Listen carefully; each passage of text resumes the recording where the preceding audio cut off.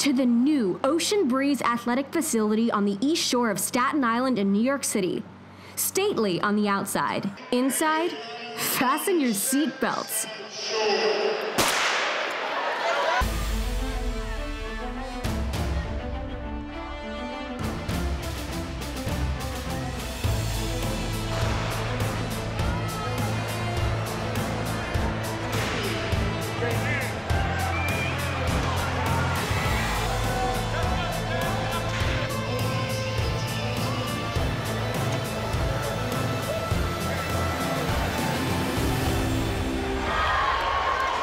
The Ocean Breeze Track and Field Athletic Complex, a New York City Parks facility.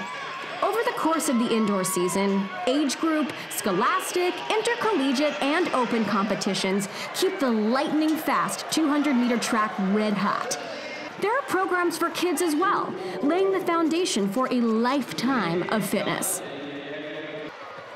The official grand opening last year launched Ocean Breeze into the elite class of sports venues.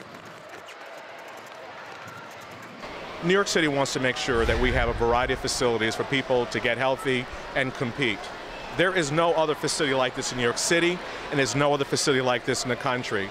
It will encourage people to be competitive. It'll encourage people to get healthy, and it probably will encourage a lot of kids after today to start getting into track and field. And for us, that's a win-win. We have recreation centers all over the city. We have sports program all over the city.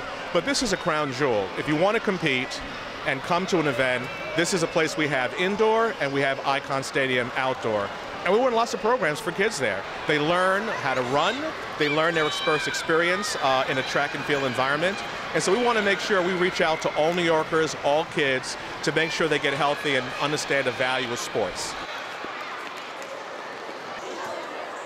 The Ocean Breeze Track and Field Athletic Complex on Staten Island Bravo to the city for encouraging participation by all levels, from local grammar schools to elite college programs from around the country. That's how the baton should be passed.